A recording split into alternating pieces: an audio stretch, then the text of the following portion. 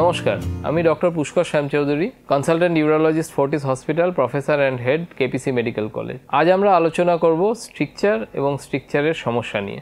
ইউরেথাল stricture মানে ইউরিনের যে প্যাসেজটা মানে পেনিসের মধ্যে দিয়ে যে আমাদের রাস্তাটা ইউরিন হওয়ার, সেইটা সরু হয়ে যাওয়া সেটা বিভিন্ন জায়গায় হতে পারে, ওটা একদম মুখের কাছে হতে পারে, একদম ভেতর দিকে প্রস্টেটের মধ্যে হতে পারে, বা এন্টায়ার রাস্তাটাই খারাপ হয়ে যেতে পারে। স্ট্রিকচারের উপসর্গ হলো পেচ্ছাপ সরু হয়ে যাওয়া।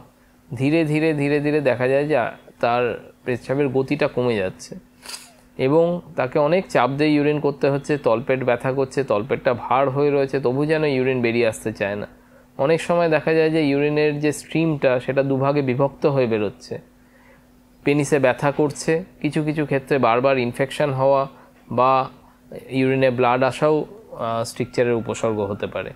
স্ট্রিকচারের কোনো ওষুধের মাধ্যমে চিকিৎসা নেই। স্ট্রিকচার মানে হচ্ছে একটি পর্দা পড়ে যাওয়া বা পেচ্ছাপের রাস্তাটা সরু হয়ে যাওয়া। তো কোনো ওষুধের মাধ্যমেই এটার চিকিৎসা সম্ভব নয়। স্ট্রিকচার যদি একবার হয়ে যায়, তার একটাই উপায় সেটা হচ্ছে অপারেশন করানো। স্ট্রিকচারের অপারেশন ডিপেন্ড করে স্ট্রিকচারের লেংথের ওপর, কতটা লম্বা এবং কতটা জায়গা জুড়ে যেটা। সেটা যদি খুব ছোট হয় যেমনি একদম মুখের কাছে হয়, তখন মিয়েটোপ্লাস্টি বা ছোট্ট অপারেশন করে সেই মুখটাকে খুলে দেওয়া যায়। যদি ভেতর দিকে ছোট স্ট্রিকচার হয়, তাহলে সেটাকে ও আই ইউ বা ভিআইইউ মানে অপটিক্যাল ইন্টারনাল ইউরেথ্রোটমি। এর মাধ্যমে আমরা লেজার দিয়ে হোক বা এন্ডোস্কোপ দিয়ে হোক রাস্তাটাকে কেটে আমরা বড় করে দিই। এই ক্ষেত্রে সাকসেস রেট যদি প্রথম এবং ছোট স্ট্রিকচার হয়, অলমোস্ট এইট্টি পারসেন্ট। কিন্তু স্ট্রিকচার যদি বড় হয় এবং জেনারেলি যদি স্ট্রিকচারটা পিনাইল পার্টে হয়, তাহলে সেক্ষেত্রে ওয়াইউ কার্যকারী হয় না। অনেক ক্ষেত্রেই দেখা যায় যে স্ট্রিকচার অপারেশনের পরে আবার সেটা ফেরত চলে এসছে। সেক্ষেত্রে উপায় হচ্ছে প্লাস্টিক সার্জারি প্লাস্টিক সার্জারির মাধ্যমে আমরা বিএমজি ইউরেথ্রোপ্লাস্টি মানে বাক্কাল মিউকোসা গ্রাফট গালের ভেতরের দিকে যে চামড়াটা, মুখের ভেতরে সেই চামড়াটা আমরা একটা স্ট্রিপ তুলে নিয়ে স্ট্রিকচারের যে খারাপ পেনিসের যে খারাপ অংশটা আছে, সেইটার জায়গায় ওই স্ট্রিপটাকে লাগিয়ে প্লাস্টিক সার্জারির মাধ্যমে আমরা একটি নতুন প্যাসেজ তৈরি করি। এবং প্রপারলি সিলেক্টেড কেসে এর সাকসেস রেট হচ্ছে অলমোস্ট নাইনটি পার্সেন্ট মানে নাইনটি পার্সেন্ট ক্ষেত্রে যে মানুষটি এতদিন ধরে ডাইলেট করে করে চালাচ্ছিল, সে দেখা যাবে সম্পূর্ণ স্ট্রিকচার থেকে মুক্তি পাবে।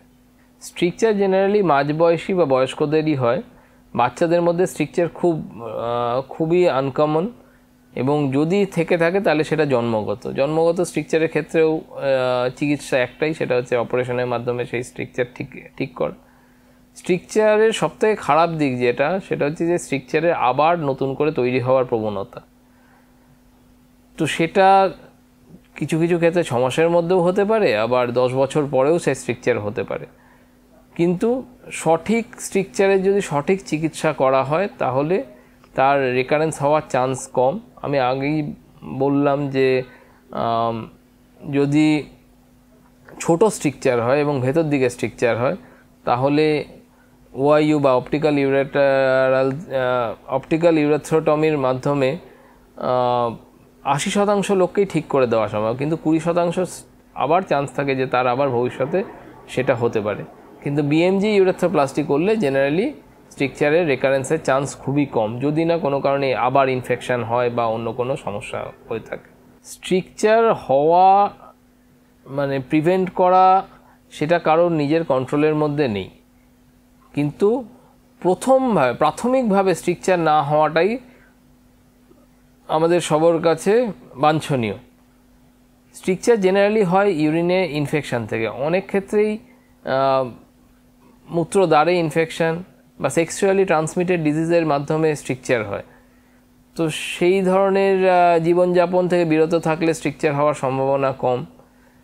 স্ট্রিকচার অনেক সময় ক্যাথেটার থেকে হয়। যদি কারোর কোনো কারণে ক্যাথেটার পড়তে হয়, সেটা যত তাড়াতাড়ি শরীর থেকে বার করে দেওয়া যায়, তত স্ট্রিকচারের চান্স কম। কিছু কিছু ক্ষেত্রে অপারেশনের পরে স্ট্রিকচার হয়ে যায়।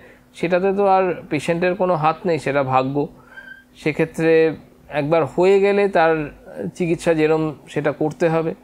এবং অনেক ক্ষেত্রে এই যে অপটিক্যাল ইউরেথ্রাল ইউরেথ্রোটমি সেক্ষেত্রে আমরা তাদের বলি সিআইসি করতে। সিআইসি মানে ক্লিন ইন্টারমিডিয়েন্ট ক্যাথেটারাইজেশন তাদের প্রথম কয়েক মাস বলা হয় যে একটা সেলফ ক্যাথেটার দিয়ে সেটাকে ওয়াশ করা, যাতে স্ট্রিকচারটা না হয় এবং এতে অনেক ক্ষেত্রেই দেখা যায় যে স্ট্রিকচারের রেকারেন্সের প্রবণতা অনেক কমে যায়।